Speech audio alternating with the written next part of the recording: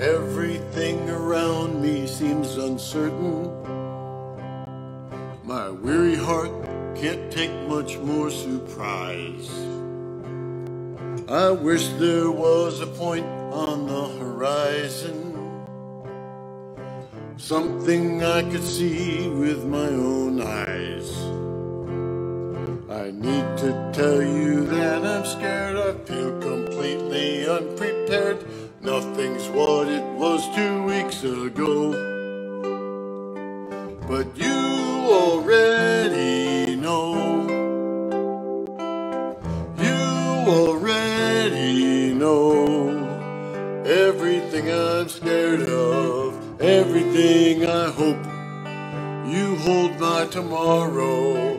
All tomorrow holds. You already know.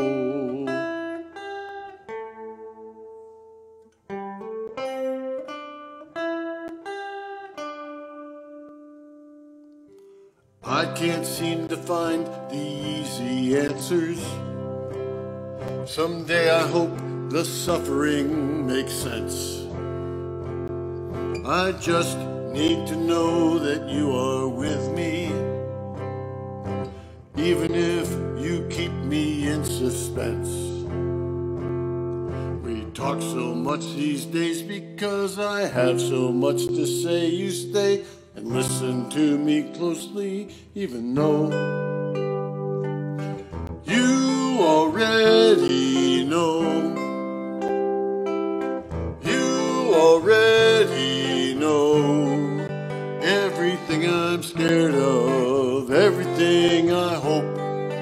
You hold my tomorrow, and all tomorrow holds. You already know whatever I'm feeling, whatever is coming, whatever the ending, you're already there. You go before me, you go behind me. Wherever I'm going, you're already there.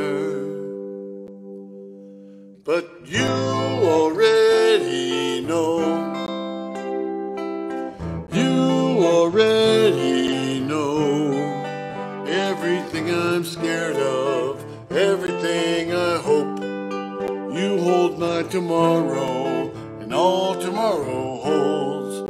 You already know.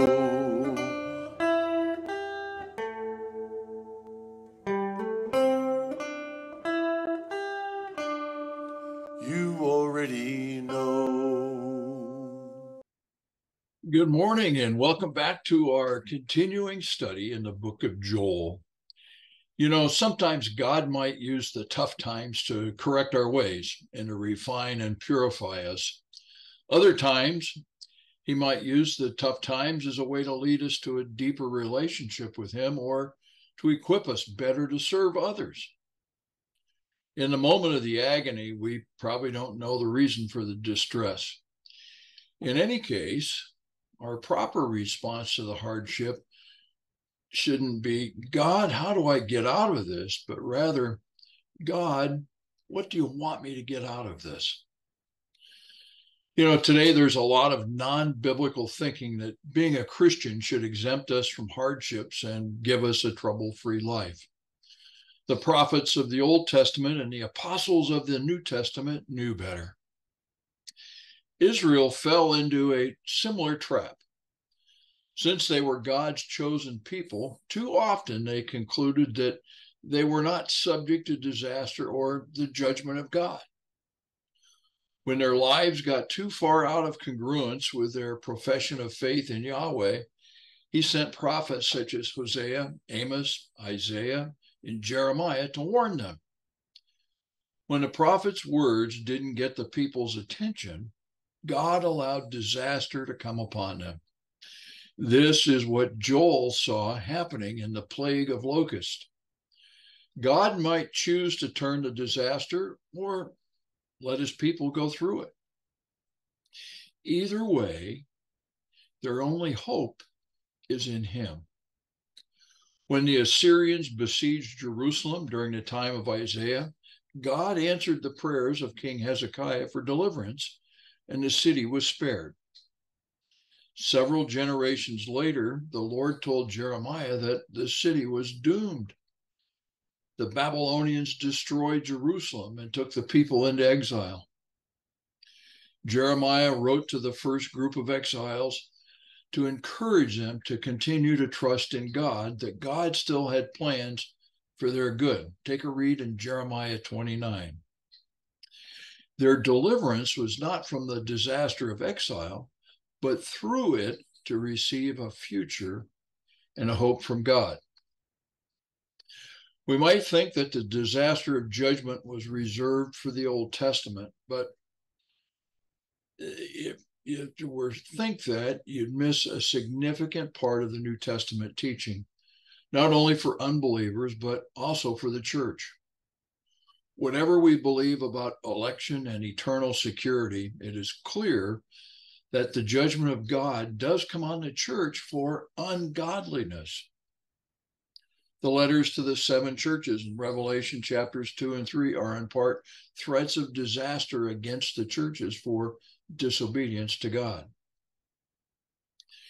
There are times when we have to look no further than our individual or corporate disobedience, selfishness, or greed for the explanation of our distress.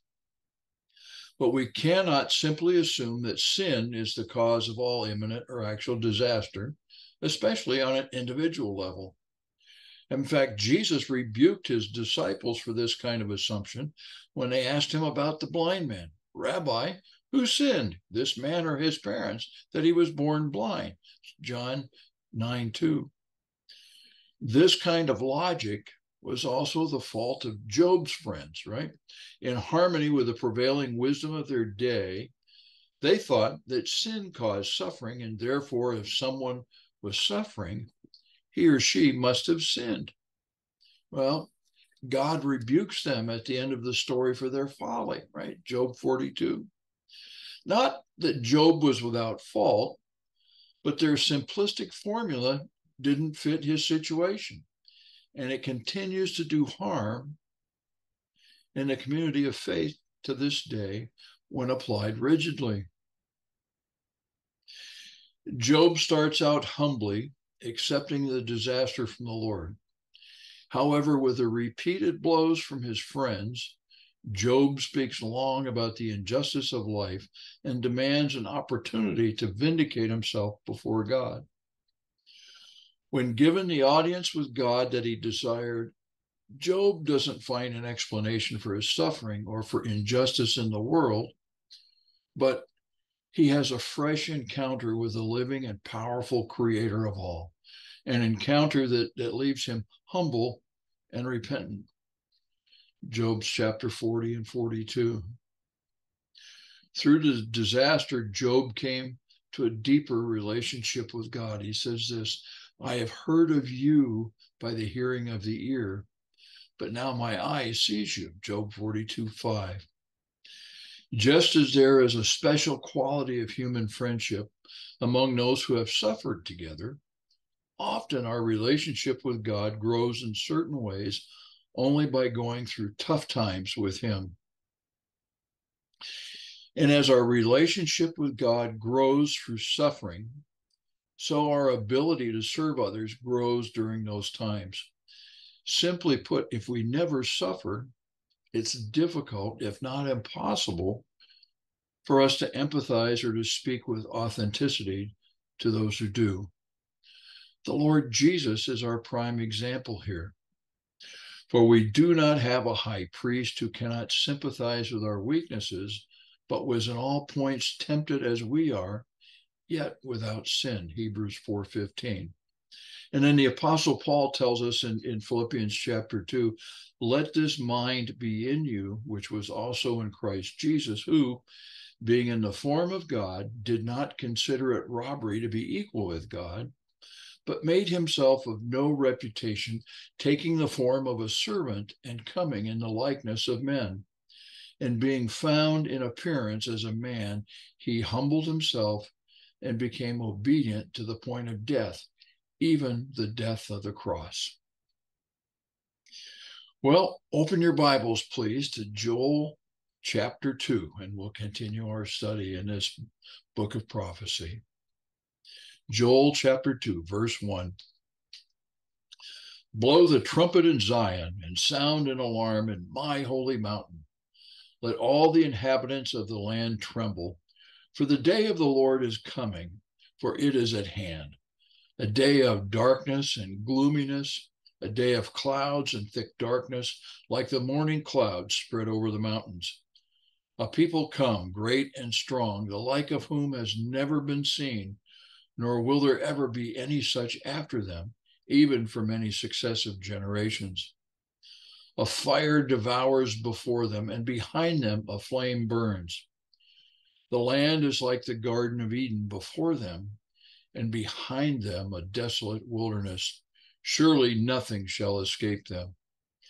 Their appearance is like the appearance of horses, and like swift steeds, so they run. With a noise like chariots over mountain tops they leap like the noise of a flaming fire that devours the stubble, like a strong people set in battle array. Before them, the people writhe in pain. All faces are drained of color. They run like mighty men. They climb the wall like men of war. Everyone marches in formation, and they do not break ranks. They do not push one another. Everyone marches in his own column. Though they lunge between the weapons, they are not cut down. They run to and fro in the city. They run on the wall. They climb into the houses. They enter at the windows like a thief. The earth quakes before them. The heavens tremble. The sun and moon grow dark, and the stars diminish their brightness. The Lord gives voice before his army, for his camp is very great. For strong is the one who executes his word for the day of the Lord is great and very terrible. Who can endure it? Let's pray. Heavenly Father, once again, we uh, uh, we come uh, to continue our study in, in this book of Joel. Father, please open our hearts and open our minds, Lord, to the to the lessons that are contained uh, in in these uh, in these words that have been put together by the prophet of long ago. Lord, thank you for this time. Thank you for this technology that allows us to, to continue our studies such as we are. We thank you, we love you, and we praise you. In the name of Jesus, we pray. Amen. Amen. So eh, here we are in chapter two, and, and Joel is describing what this mighty army looks like, right?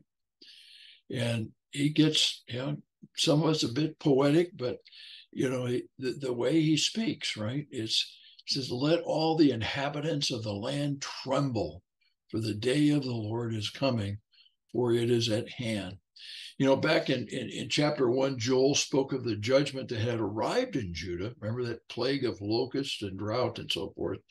Here in chapter two, he begins really by describing a judgment that will come a mighty army set against Judah since this is all part of God's day, not man's day, it's described as the day of the Lord. You know, it's true that when, when we are right with God, we want the day of the Lord. We long for him to show his strength because we know that we abide in him and he abides in us. But when we're not right with God, we dread the day of the Lord because when God shows himself strong, his strength may work against us. In Joel's day, Judah was not right with God. So the day of the Lord would be nothing but darkness and gloominess to them. You know, it goes on to say, a people come great and strong. Well, you know, it, it's hard to know what invasion Joel predicted here. And probably Joel weren't Joel was warning of an invasion that never happened because Judah responded to the invitation to repent, and God held back this army. The 40 year godly reign of King Joash in Judah began soon after the time of, of Joel's prophecy. Now, there are some commentators who believe that, that Joel refers back to the army of locusts and it is describing them poetically. Well, it's possible. But it seems best on, on balance to say that he, he wrote of a literal human army ready to come against an unrepentant Judah. Like an army of locusts, if they came, they would be massive, destructive, and unstoppable. He says, a fire devours them, and behind them a flame burns. Well, you know, the urgent nature of this prophecy probably prompted Jehoiada to depose the wicked queen Athaliah and set Joash on the throne, even though he was only seven years old. You can read about that in Second Kings chapter 11. Perhaps Jehoiada would have waited until Joash was older, but Joel's prophecy here showed him that it, it had to be done immediately. And Joel goes on to describe what this mighty army will do. Uh, before them, the people writhe in pain. All faces are drained of color. They run like mighty men, uh, and so on. He gets pretty graphic over how this invasion will take place. You know, they do not break ranks. Everyone marches in his own column with, with a you know, chilling, you know, poetic flair. Joel describes the discipline and effectiveness of this army. Because they keep ranks and they work with energy, they bring a devastating attack on Judah. Now, if we want to consider the people of God to be like an army, perhaps based on the, these military images Paul sprinkled through his letters, then this passage shows us two things that can make God's people more effective. First, they must keep order with every soldier keeping ranks, right? And, and second, you got to work hard. And, you know, Joel describes it as soldiers serving, you know, with energy. But he puts this capper and he says, the Lord gives voice before his army. So as impressive as this invading army is, Joel doesn't want Judah to forget that their real power lies in that God has sent them. They will be his tool of judgment against Judah unless they repent. When the plague of locusts and the drought devastated Judah, you might have thought that Joel would encourage the people.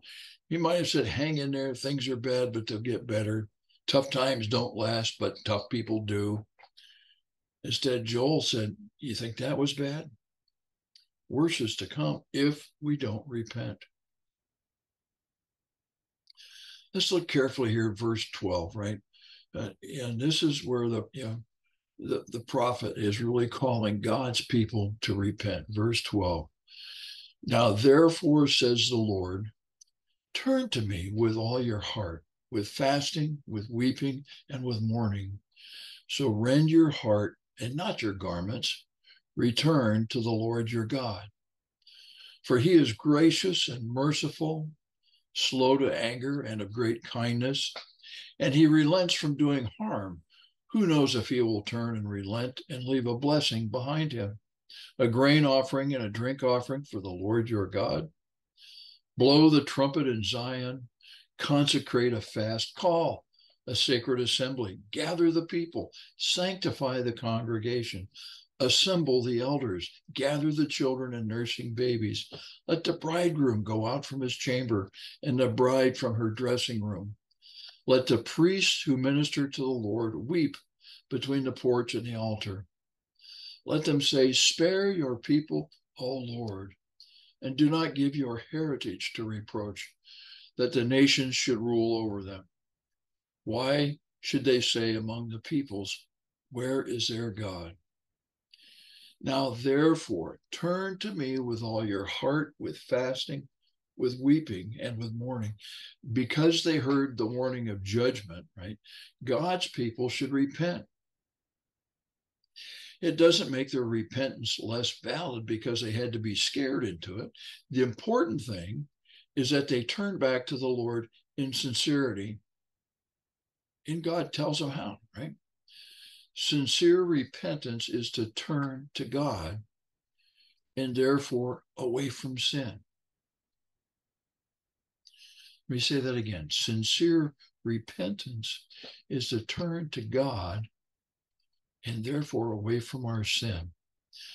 Sincere repentance is also done with all your heart, giving everything you can in surrender to God. And sincere repentance is marked by action. We see this described as fasting and with emotion, with weeping, mourning. Not, not every act of repentance will include fasting and weeping, but if action and emotion are absent, it isn't real repentance. Right? This is where we're asking God to forgive our wrongdoings against Him. And if we're truly repentant, there's a there should be sorrow over what we've done, right? And and however, if we just admit that and we're a bit sorrowful, but then we keep on doing things, that's not true repentance, right? True repentance is that turning away. We confess our sins to our Heavenly Father, and we turn away from it. And we do everything in our power to stay away from uh, that kind of sin. Now, Joel says here, rend your heart and not your garments. You know, one, one expression of mourning in, in Jewish culture wasn't, still is in some cases, tearing of the clothes. It was a way to say, I am so overcome with grief that I don't care if my clothes are ruined and I look bad. Joel knew that someone could tear their garments without tearing their heart. And he described the kind of heart repentance that really pleases God. You know, I got to bring Charles Spurgeon into this. And he, he tells the story of a woman who came seeming to be in great sorrow, saying what a great sinner she was, but Spurgeon suspected her repentance wasn't sincere. He said, Well, if you are a sinner, of course you have broken God's laws. Let's read the Ten Commandments and see which ones you have broken.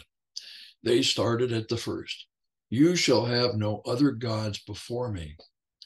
And Spurgeon asked her if she ever broke that commandment. Oh, no, she said, not that I know of. You shall not make any graven image. Did you ever break that one? Never, sir, she answered. As you might suppose, Spurgeon went through all 10 commandments, and she could not find a single one that she had broken, and what he suspected was true. She didn't really consider herself a sinner, and she was making a show of repentance because she thought it was expected of her. So, as you think about it and examine your own steps of repentance, are you doing it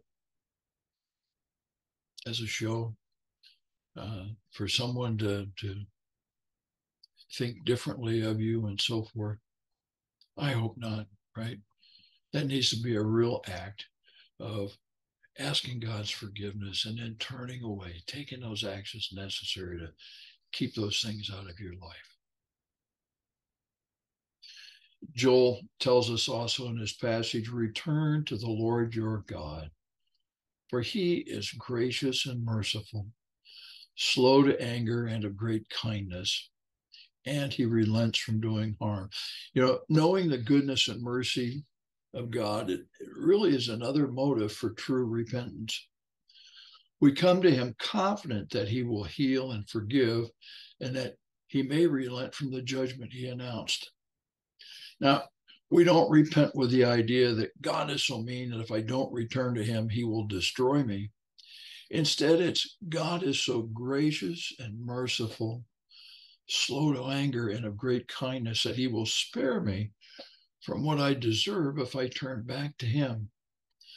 Ultimately, it's his goodness that leads us to repentance, right? Paul tells us this in Romans 2 4.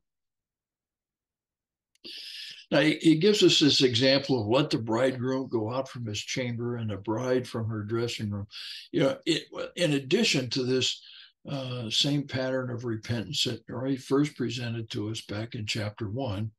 Joel adds the ideas relevant, right, to this bridegroom and the bride. The idea with these images is that in a time of repentance, God's people cannot carry on as usual. Usually, the bridegroom belongs in his chamber and the bride belongs in her dressing room, but not now. It's time to repent. True repentance does not carry on with business as usual. Let the priests who minister to the Lord weep between the porch and the altar. Leaders among God's people must especially lead in repentance. They can't come with the attitude that the people must repent. They must regard themselves as the people and the people as themselves and lead in repentance. That's another strong, strong call to those that are in ministry, those that want to preach, and, and so forth. Uh, even, yeah, the, we all have some leadership aspects in ministry, even within our families. And if we're always pointing our finger to the others, saying you know, you need to repent, you know, we forget about those other three fingers that are pointing back at us. Have we done the same thing? Something for you to consider, right? And then Joel says, Spare your people, O Lord, and do not give your heritage to reproach. Joel is basically writing this prayer of repentance, right? For the priest. It's as if the priest should pray without how we can persuade God to have mercy on us. He asks him to spare, and this implies that God's people deserve judgment, but they plead for mercy. He talks, spare your people. And this, right, is remind God that they belong to him and provides another motivation for mercy. Not that God needs a reminding, but it's really think about that, right? If you're praying to spare your people, oh Lord, and you're part of, you know, that brings to mind, you know, you're part of his people as well. And he says, Do not give your heritage to reproach. Tells God mercy unto his people will bring him glory among the nations, and that judgment might bring his name into discredit. And again, this is more about the kinds of things that, that Joel is urging the priests to think about in their prayers. Now, we know from our studies in the New Testament that you know the Apostle Paul assumes that suffering and affliction, far from being abnormal, really are the lot of the believer. Suffering in the form of persecution or abuse from others is to be expected when the church opposes the prevalent and corrupt structures of its society. All you have to do is take a look at what's going on around us. You know, those that are standing up against some of these crazy policies that are coming out regarding the, you know, the, the uh, anything other than you know when I, if you recall, I'm thinking back. I'm kind of stumbling for words a little bit, but if you think back, right, with the, you know, proposition, I think it was number eight here in California that was uh, regarding the, you know, sanctity of marriage between a man and a woman, and how reviled the church got, being taught backwards and out of step with thinking, and so on and so forth. And that's how it goes. And, and and it's escalated from that right anyone that stands up and speaks against the things that the Bible says are abhorrent, you're going to get persecuted. You are going to get slammed by our current society. And, and that's what Paul is warning us about. Yeah. And, and we have to think about it in, in the reality that it is. These are wounds that we'll receive from spiritual warfare that goes on. In fact, um, you know, Paul tells us he could rejoice in suffering, Romans chapter 5. Not, not that Paul was a masochist, but he could see the results of suffering in those who were yielded to God. Endurance, character, hope. These are things that come out of that, right? In suffering, we receive the comfort of God. And he tells us the reason for that is that we may be able to comfort those who are in any trouble. Second Corinthians 1 4. When we're tempted to throw in the towel and turn from God because of disaster, it may help to look again at the Lord Jesus for several reasons. First, in the cross, God bore the ultimate disaster. Who can endure the day of the Lord, says Joel, as Jerusalem was threatened with ruin? Across the centuries comes the answer God has already endured the wrath of the day of the Lord for us.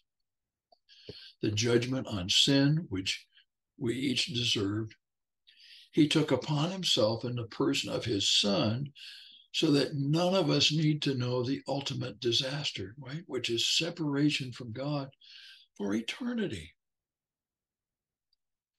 This should remind us that God is not some unsympathetic or unmoved supervisor of the universe, indifferent to the pain of our suffering.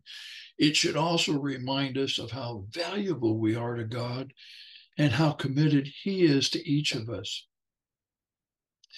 He who did not spare his own son, but delivered him up for us all, how shall he not with him also freely give us all things? Romans 8 32.